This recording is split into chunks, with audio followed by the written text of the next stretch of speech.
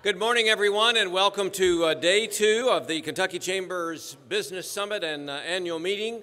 Uh, I'm Bill Goodman. Once again, I'll be with you uh, throughout the, uh, the day. Uh, we'll try to keep um, all of the events moving. we appreciate all of you being here bright and early. Everybody have a great time last night? You enjoyed the dinner and Chuck Todd's remarks. You know, I was going to. Um, I don't want to steal uh, Elizabeth McCoy's line here because I think she's going to say something about it, but I, I, got up really early this morning and I started writing a, uh, a blog post, and, and I got as far as the title that Chuck Todd left his remark on Kentucky last night. I don't think any of us uh, will, will, forget uh, that line. That was, uh, that was hilarious. But don't you think he recovered really well?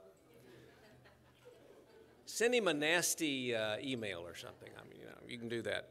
Uh, this morning, we'll begin with a discussion uh, with Toyota's uh, Wil James about the auto industry and Kentucky's economy. But again, uh, before we uh, get started and before Wil comes up to the podium, Elizabeth McCoy.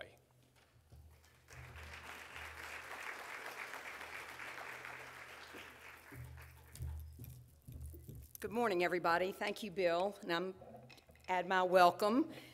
And this old white woman will try to do her best. I'm telling you. He, uh, Chuck told uh, Jim Ford last night that he was actually glad that that happened because he realized that everyone was listening. And Jim said, And you thought that we were going to pay you to come here and we weren't going to listen to you, really? So, anyway. Um, we have a great lineup today, as, as you know, and as uh, Bill's already indicated, and I'm ex- especially excited to be here with my friend Wil James and uh, hear about Toyota, as he's the incoming chairman uh, of this Kentucky Chamber of Commerce, as you know. And we recently had our Kentucky Chamber Board meeting in Hopkinsville. And Wil was so very generous with his time uh, with my first grader, who's very interested in cars. And Wil sat on the floor with Griffin and explained to him how many we assemble and how fast they go and what all they do. And it was, it was really, really nice, uh, Wil.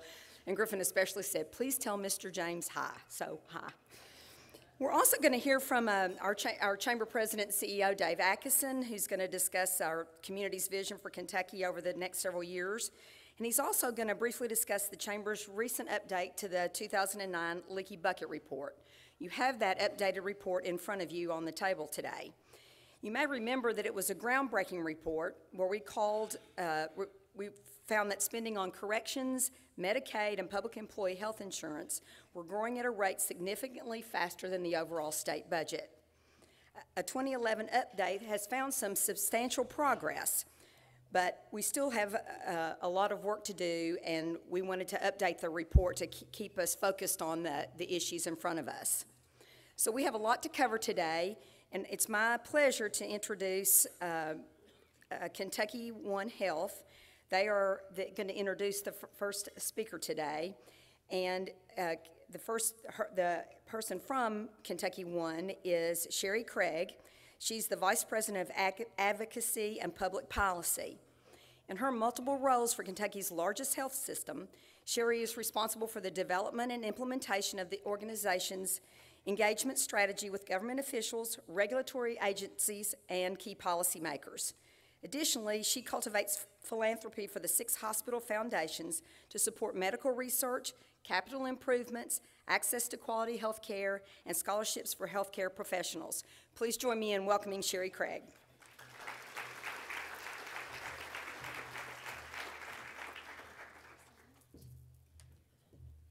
Thanks, Elizabeth, and good morning to everyone. As many of you may know, Kentucky One Health was formed in 2012 when Jewish Hospital and St. Mary's Healthcare and the St. Joseph Health System came together. And in late 2012, the organization formed a partnership with the University of Louisville Hospital and the James Graham Brown Cancer Center.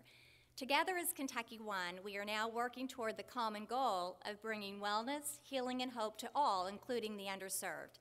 Kentucky One is a young organization, but with a long history and a large role in providing health care in the state, with more than 200 locations 13,000 employees, and a medical staff of more than 3,600 physicians. Disease prevention is at the core of our mission, and we are expanding access to care and implementing new programs toward that end.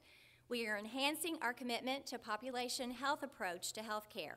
Simply put, that means we work more closely with patients and their loved ones to help them make better decisions about how they care for themselves, how they can stay healthy, and how they can make better use of healthcare services. It's fitting that I have the opportunity to introduce our morning keynote speaker, Mr. Wil James. The first time I met Mr. James was when Our Lady of Peace, which is a psychiatric hospital primarily serving children and adolescents, won a Toyota van through Toyota's 100 Cars for Good program. It really is a generous program. In July 2010, Wil James became the seventh president of Toyota Motor Manufacturing Kentucky, Inc. As such, he leads Toyota's largest automotive manufacturing plant in North America, while also championing quality initiatives for Toyota's 14 North American manufacturing operations. Mr. James is the first African American to serve as president of Toyota's Kentucky plant, which manufactures the Camry, America's best selling car, and was recently named the new home of the first U.S. produced Lexus. Mr. James's career with Toyota began in 1987, supervising a team of about 20 employees. He has since served in multiple leadership roles within Toyota's network of manufacturing operations around the, across the United States. Please help me to welcome Mr. Wil James to the stage.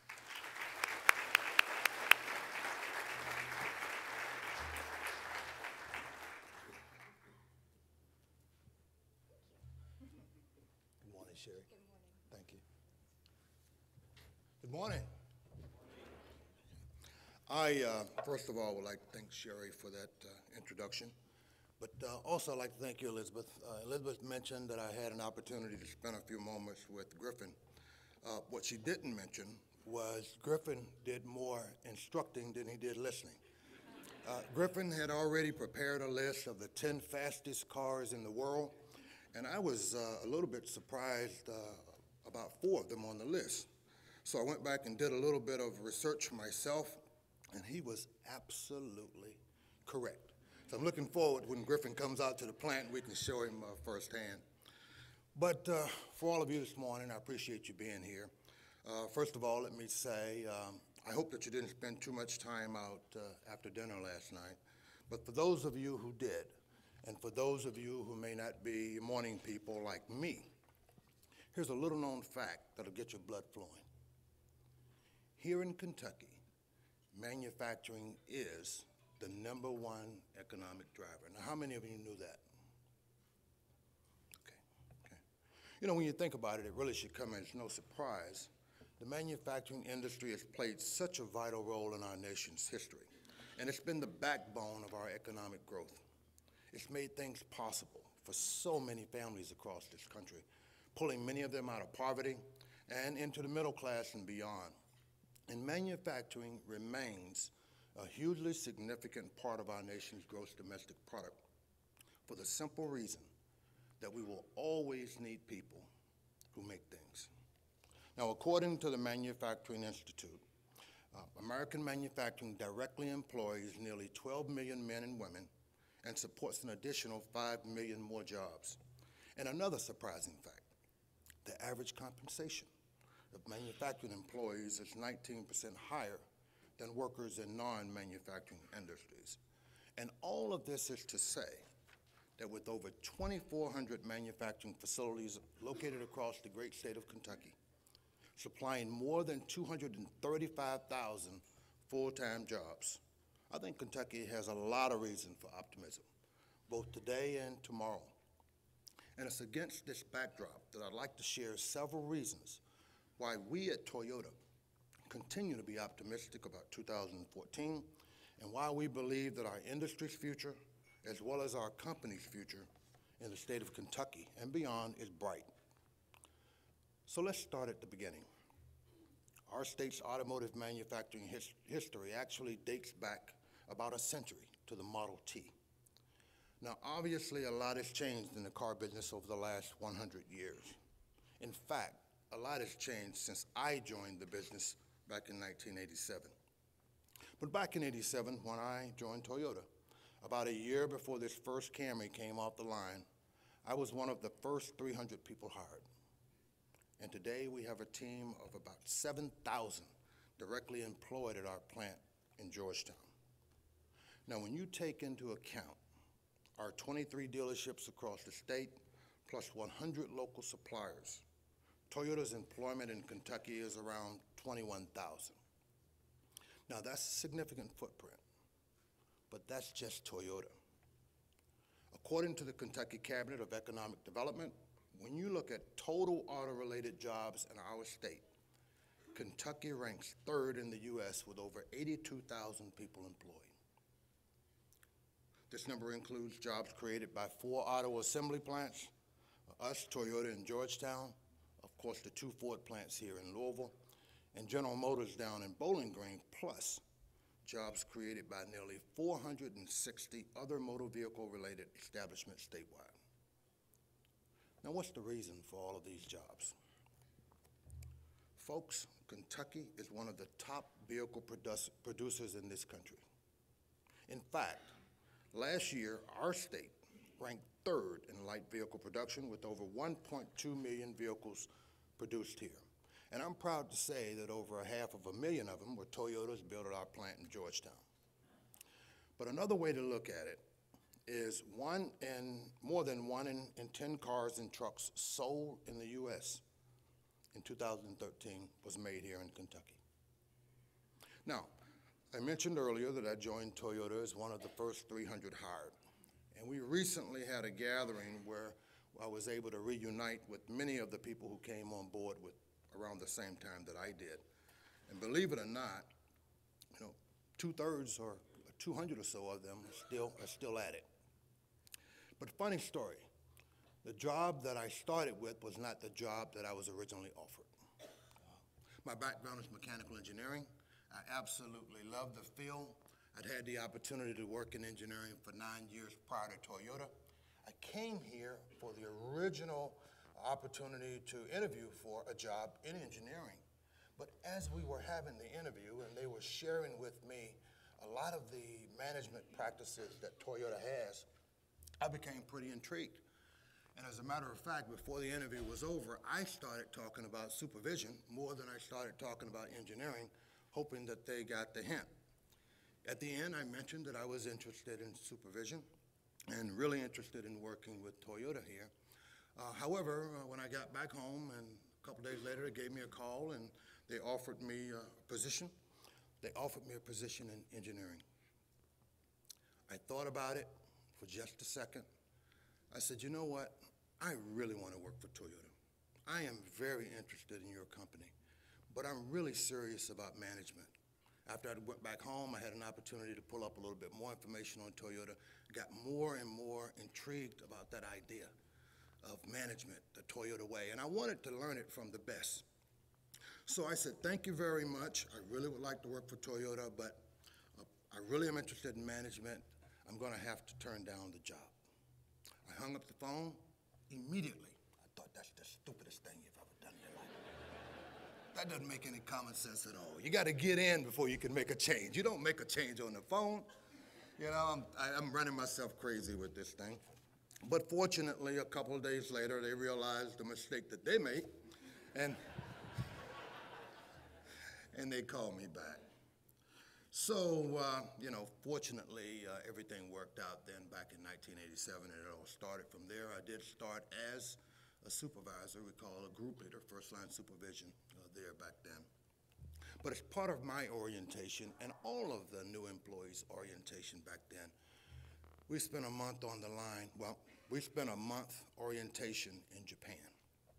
And most of the folks that were there spent their entire month on the auto assembly line getting a feel for, you know, auto production so that they could come back and emulate that here. Fortunately for me and for, I think, many of our customers, I only had to spend one day uh, on the line. And folks, I got to tell you, uh, you know, I have tremendous respect for the people that we have that's working on the assembly lines in the auto industry. And I'm someone who spent a lot of time tinkering on cars over the years with, with my dad.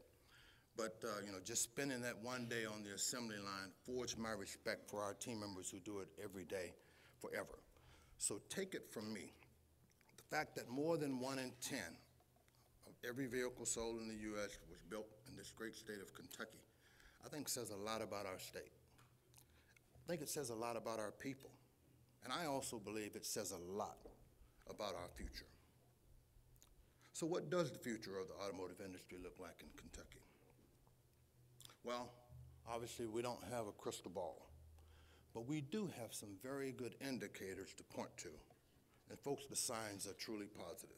And the first sign is growth. I want you to think about this. Over the last five years, the Cabinet for Economic Development says that there has been approximately 285 new auto industry location or expansion announcements in Kentucky. Now, these represent 17,000 new jobs and nearly $4 billion in new capital investment. And last year alone accounted for more than 1 billion in investment and nearly 4,000 additional jobs in our industry.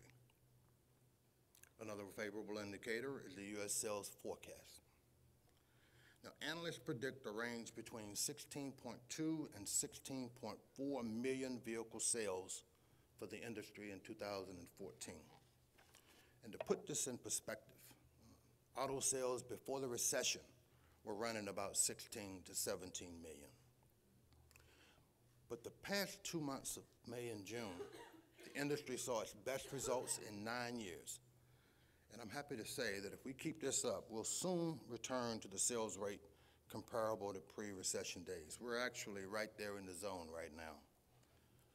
But we actually expect more than 400,000 more customers than last year will lease or buy a new vehicle in 2014, which means the auto industry should grow for the fifth consecutive year.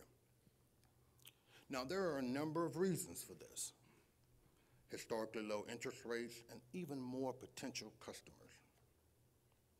Analysts say that U.S. buyers aged 35 and younger will be a key contributor to industry's growth, continuing the trend that we've seen the last few years.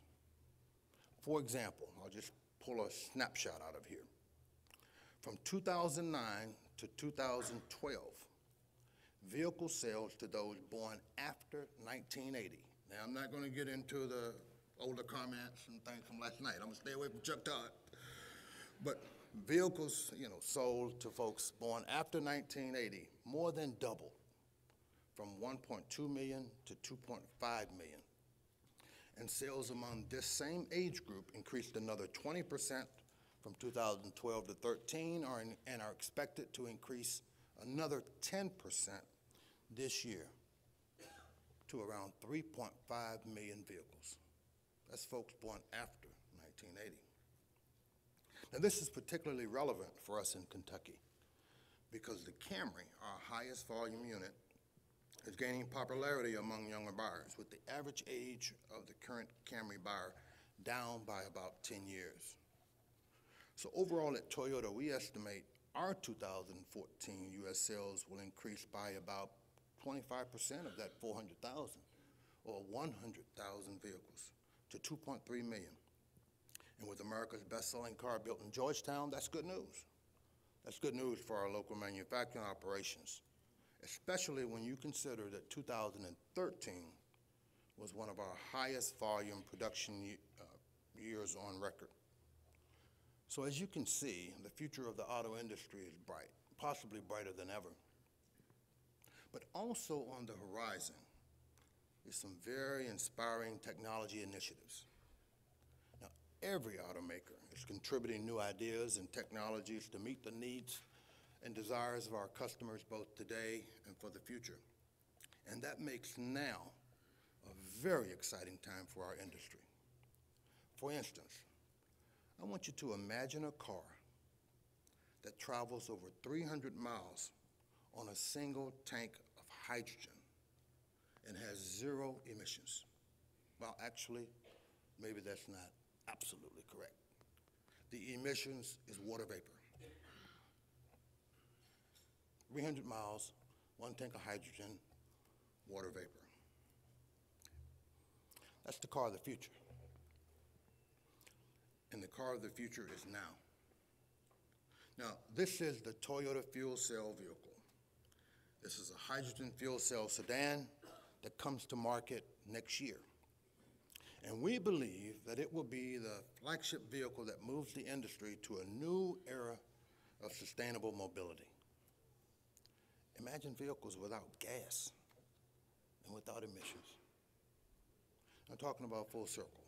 I actually studied fuel cell when I was back in college, but back then I never expected to see this type of technology hit the road as an electric drive, mid-size, great-looking four-door sedan. So as Yogi Berra might put it, the future ain't what it used to be. Now, while we're excited about the fuel cell vehicle, this is just a part of what we see as future mobility. Take a look.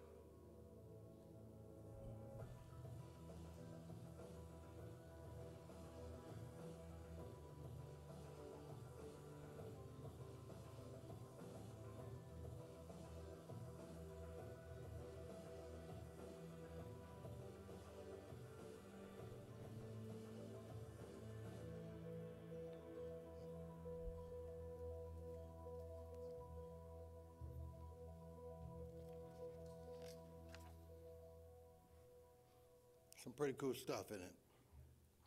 Now, this is not exactly as Jetsons, but we're getting there.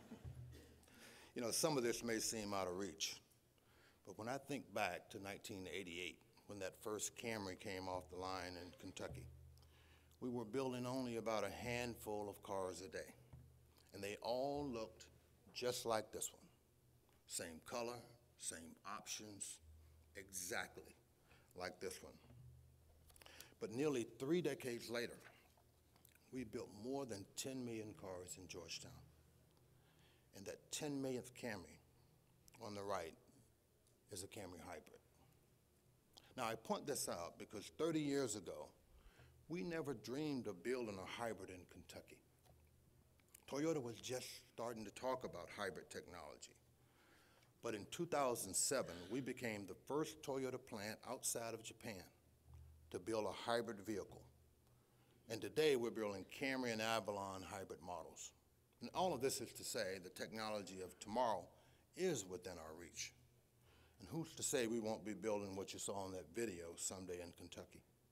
I'd like to think the possibilities are endless. But thinking about tomorrow also means thinking about who's going to envision and create the cars of the future, as well as who's going to create and maintain the environment in which these vehicles are manufactured. Now, with that being said, workforce development is something that we're focusing on in Georgetown as well. And it's why we're creating next generation programs like the AMT program. Now, the AMT program stands for Advanced Manufacturing Technician. And it's a program that has proven to be an effective recruitment and development tool for our, us at our plant in Kentucky and more manufacturing plants around the U.S. are joining in on this initiative. It's a partnership with BCTC that is designed to give students the option of a more focused education that prepares them for a career in manufacturing. Graduates of this program have gained many of the life skills, the technical knowledge, and the workplace experiences necessary for a successful career in manufacturing, acquired through five semesters of non-traditional instruction, including classrooms that mirror the assembly environment. Now, we combine this with actual work experience from day one of the program, and the result is more manufacturing jobs filled and more graduates gainfully employed. Now, this is a win-win for the students and the industry, especially when you consider that an estimated 600,000 skilled manufacturing jobs are expected to go unfilled this year. Folks, we're talking about jobs from 70,000 up to $110,000 a year. 600,000 are expected to go unfilled because we don't have the skilled members to be able to, to fill them. So at Toyota, we believe in the power of teamwork, and we believe that this collaboration, or this type of collaboration, in tackling issues together rather than silos is really what we need to move the needle in this critical area of our business. And that's why we're all so excited about Kentucky's newly created Automotive uh, Industry Association. Now, since it creates a unified voice for the auto industry, we'll soon be in a much better position to team up to address the challenges, the solutions, and also the opportunities of our industry. And at Toyota, we look forward to working together with other automakers, as well as auto suppliers, to advance our industry now and into the future. And speaking of what's to come, I'd like to now share with you a few things that I'm excited about, specific to Toyota's future in Kentucky.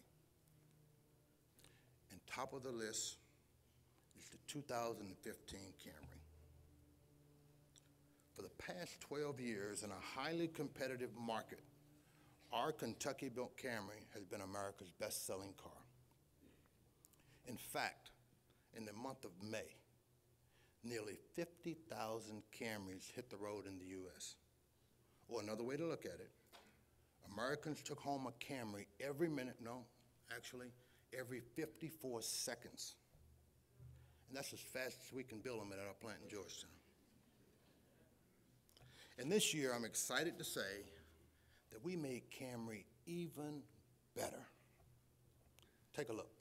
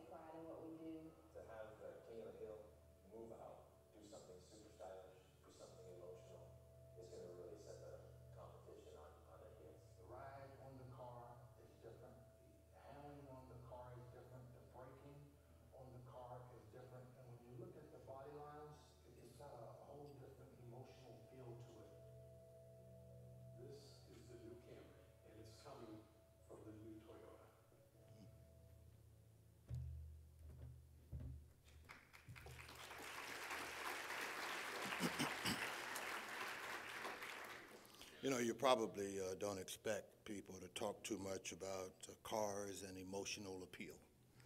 But in my business, that's what we do. And I really do feel that with this car. And I mentioned earlier that we sold 50,000 Camrys in the month of May. And that's pretty, that's a pretty amazing number. But when you consider that we actually showed the world the 2014 Camry in April, so people saw what the new model was going to look like. Uh, One month before, they went out and bought 50,000 of the current. That's, that just doesn't happen a lot in our vehicles, or anybody's vehicles.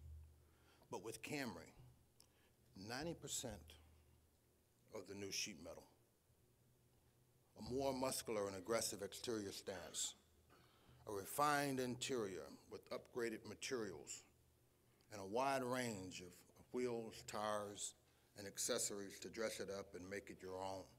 Now, I noticed one of our suppliers, uh, Ed- Edwin Go, and his team from Innova Premier are back there in the back, and they'll be providing a lot of these wheels and tires and get you some rest. We got a lot of cars to build. You heard it from our team. Inside and out, America's favorite car is better in nearly every way. And best of all, it's built by people right here in Kentucky. This is a mega change for Camry and the most extensive mid-cycle change in our company's history.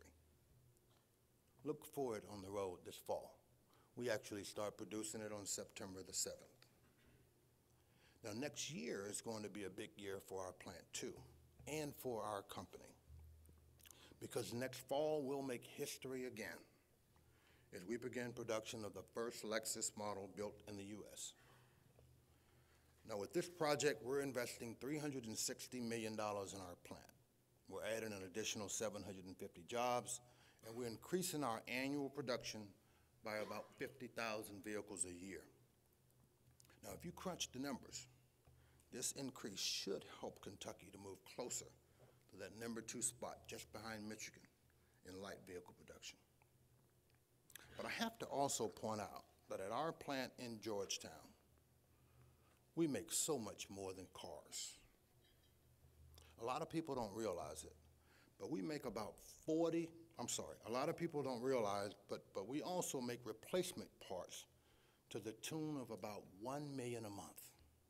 These are hoods, fenders, trunks. We manufacture over half a million engines per year in Georgetown. And we also supply sheet metal parts to our plant in Indiana, Canada, Mississippi, and Texas. In fact, Toyota's plant right here in Kentucky is one of the largest, most dynamic manufacturing operations in the world. And in 2013, the third highest vehicle producer among all Toyota plants globally by only about 3,000 units. Of this is to say that the Kentucky plant is considered the flagship plant. And once we get the Lexus online, we will clearly be Toyota's largest manufacturing site in the world. And over the next couple of years, we'll also be strengthening our technological leadership. Now, I'm sure some of you have some questions about, you know, what's going on with this uh, consolidation of the North American headquarters and the folks that are moving from Erlanger and so forth. And I, I'm going to touch on that a little bit now and be prepared to talk about it as much as you like during the question and answer session. But actually, as a result of this move, Georgetown gets bigger. Because as we move the consolidation of the headquarters, and that's our sales group out of California, that's our finance group out of California, some design folk out of uh, Michigan, very little, uh, folks out of New York, and then our manufacturing headquarters here out of Erlanger down to Texas. Uh, We're going to, we've made the conscious decision that since, since Georgetown is the largest plant, we're going to move all of the production engineers into one central site here, here in Georgetown. Now, let me touch again on this uh, consolidation. Uh, Most companies globally have a central headquarters. But because of the way that Toyota actually came to North America, we never did. Our first, our sales group came over. They were housed in California because it made sense. All of the cars came from Japan. They came through the Long Beach port. Them being in Torrance, California, made a lot of sense. After that came the uh, R&D up in Michigan, and then later came manufacturing. First wholly owned plant here in Georgetown. Uh, so after Georgetown started producing, Canada came on board, our Indiana plant came on board, there was a decision that we needed a manufacturing North American headquarters as well. So it was built in Erlanger. What this consolidation does for us is it takes the sales, the manufacturing, our folks out of New York and all of them down to one central location down in Plano, Plano, Texas. Again, it makes perfect sense. And one of the questions I get asked a lot was, was Kentucky not competitive? You know, wh- why, why wasn't the North American headquarters housed in Kentucky? And folks, uh, you know, the, the truth of the matter is Kentucky was not considered. It wasn't a matter of competitiveness. Kentucky was not considered, California was not considered, New York was not considered, Michigan was not considered. And this was the thinking way. We're going to be moving four different entities of our North American operations to one common place, and we want a new corporate, North American corporate culture. We thought the best way to do that was to find a different location for everybody. Everybody had some shared sacrifice going into the new central headquarters. Had we tried to talk everybody to go in California, that might have been a rub. Had we tried to talk everybody to go to New York, that might have been an issue. You know, you can't build a new culture when you don't start with new beginnings. So the decision was to make new beginnings. But as a result of that, as I mentioned, the North American Production Engineers Group will be coming here, and we'll be building a whole new state-of-the-art facility on our campus just to house these, these engineers. This new investment will be on top of the current investment in Georgetown, which is valued about $6 billion. And the 300 engineers will soon be added to our workforce. Uh, That'll bring our overall employment number in Georgetown to over 8,000. So earlier I mentioned that we built about uh, a million Toyotas in Georgetown last year. But not all of the cars that we build here stay here. And actually, I got a chance to see this firsthand last year while we were in Dubai, uh, where we had a chance to see some of our Avalons that had been offloaded at, at a dock over there. But Toyota now exports to 32 countries. And in 2013, one in every 10 of our US produced vehicles was exported, or about one every 10 minutes. And our Kentucky built Camry, Avalon, and Venza are all among Toyota's exported models. And in fact, we ship Toyotas from Bluegrass to as many as 12 countries worldwide. And with both Camry and Avalon among the top 10 American-made vehicles, that's something that we can all be proud of. You know, Kentucky proud. So for us in the automotive industry, Kentucky is a great place to be. And for all Kentuckians, that's good news. Because with industry-related jobs and investment on the rise, and all signs pointing to sustained growth for 2014, on top of the automotive industry's already strong footprint in the great state of Kentucky, at Toyota, we are truly optimistic. We're optimistic about our future. We're optimistic for our industry. We're optimistic for our company. And we're optimistic for the Commonwealth of Kentucky. And we hope that you are too. Thank you very much.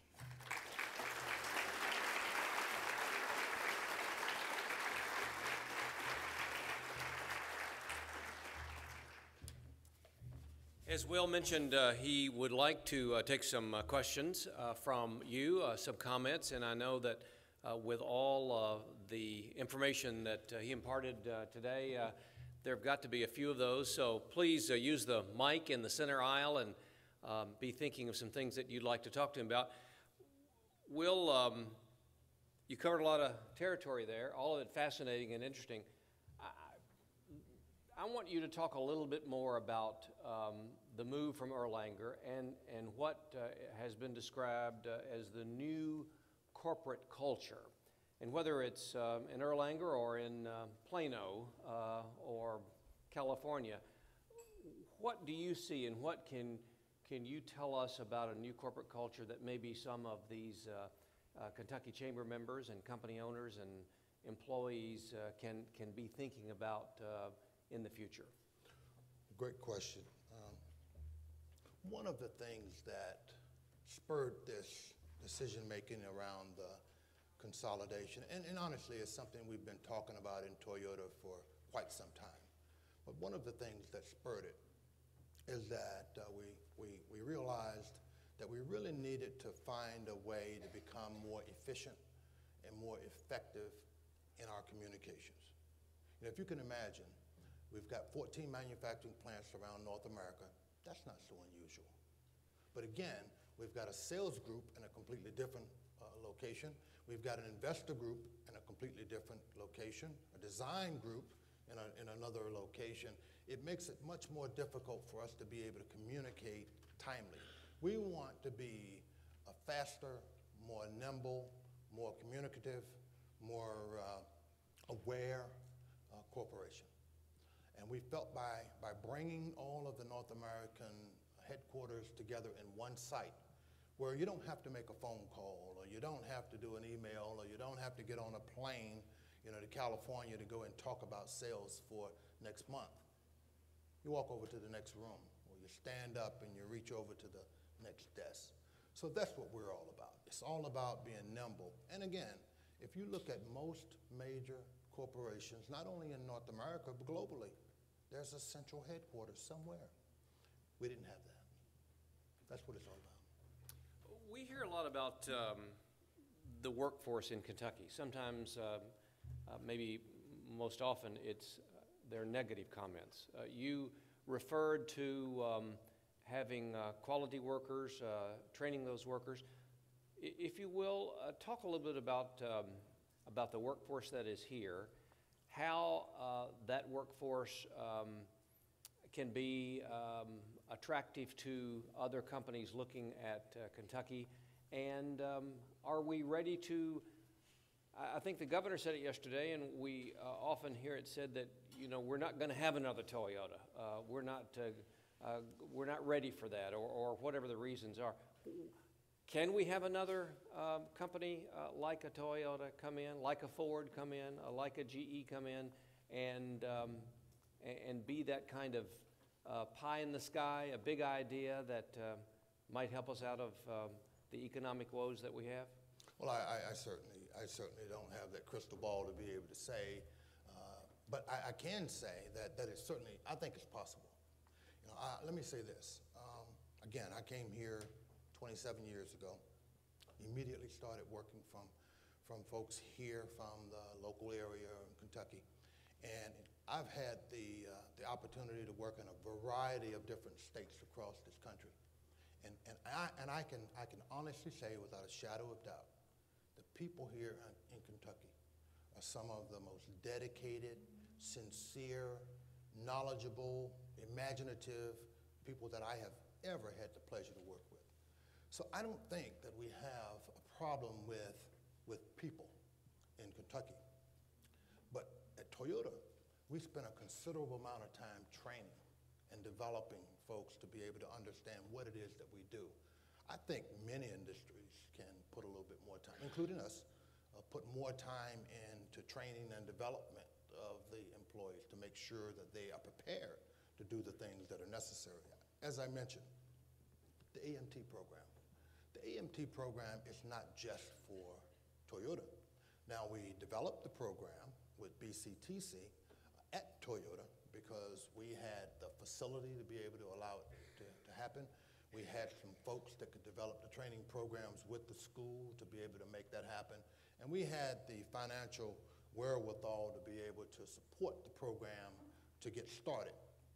Fortunately now, the, uh, the governor and the legislature here in the state has approved a BCTC campus directly across the street for Toyota, which will allow us to not only bring more people through the program for us, but even as we've done on our site, we've invited people in from other plants as well. So I think the key is just training folks because they have the capability to do it, but training folks with the skills necessary to be able to do the jobs of the future. And again, 600,000 unfilled jobs.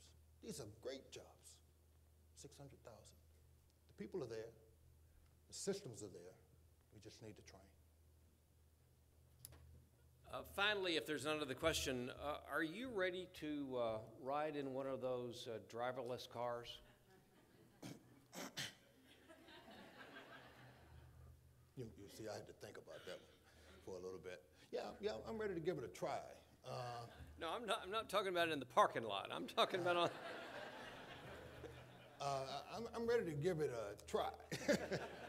uh, yeah, I, I, I, uh, I haven't had the occasion to, to feel that out, but I'm looking forward to, to a chance to do that. Now, I will say, before these cars hit the road, what wasn't said is that these cars, and this is being talked about around the country right now, these cars will be interconnected, where they actually communicate with one another.